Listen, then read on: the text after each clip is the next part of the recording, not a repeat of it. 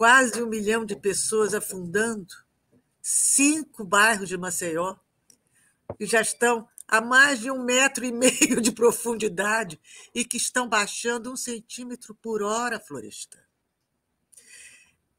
Eles vão formar uma cartera semelhante àquela, àquelas que as bombas de Israel estão, com toneladas, estão criando em Gaza. São crateras formadas por toneladas de bombas. E a Braskem vem fazendo isso lentamente, perfurando, é, retirando o material até mais de um quilômetro sob a superfície. E agora já houve, só em poucos meses, cinco tremores de terra. Cinco tremores de terra. São. É, é uma tal escândalo que o, o que é mais grave, Florestan, é que o essa, essa terra começou a tremer em 2018. A Braskem disse que iria é, mitigar, mitigar, tentar mitigar essa tragédia. Mas só em 2019 ela interrompeu o funcionamento, a exploração dessas minas. Esperou um ano para interromper. E agora estamos vendo esse, que é o maior desastre ambiental no momento no planeta Terra, o afundamento da capital de Alagoas. E os prefeitos. Desde 1970, a Braskem afunda, trabalha, opera essa tragédia lentamente, desde os anos 70. E foram passando prefeitos e prefeitos e prefeitos, e ela financiou as campanhas de todos os clãs políticos de, de Alagoas. Todos os clãs comeram na mão da Braskem. E agora nós vemos o resultado disso tudo.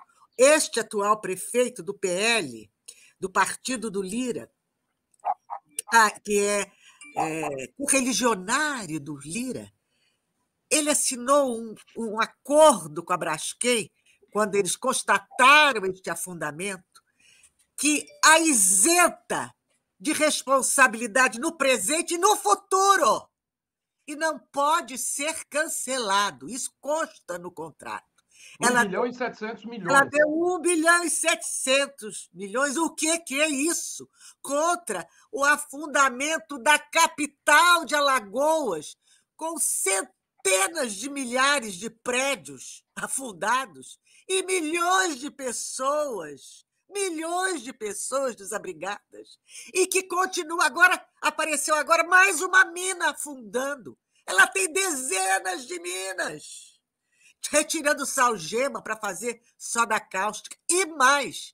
Neste contrato consta que depois que ela gastar esse 1 bilhão e 900, que é o preço para recuperar o estrago, ela ganha de presente toda aquela área que ela consertou para ali fazer empreendimentos imobiliários, que é outra área que ela atua, que ela faz também. A Braskem é uma grande incorporadora. Então você veja, Maceió dada de presente a Braskem, e agora esse prefeito Tchutchuquinha tão bonzinho, virou um leão feroz, está rugindo, falando horrores da Braskem. Que gente sem caráter, que gente horrorosa que são os políticos brasileiros. Esta é a maior tragédia ambiental do mundo. Agora, a nossa tragédia moral, política e do setor público, da corrupção no Brasil, também é a maior tragédia mundial, moral e de corrupção. Que vergonha! Olha, Léo, eu estou tão irada com o que está acontecendo em Maceió. Eu estou voltando da Paraíba. Que beleza, João Pessoa! Uma cidade, uma capital onde as crianças ainda brincam na calçada. Há quanto tempo?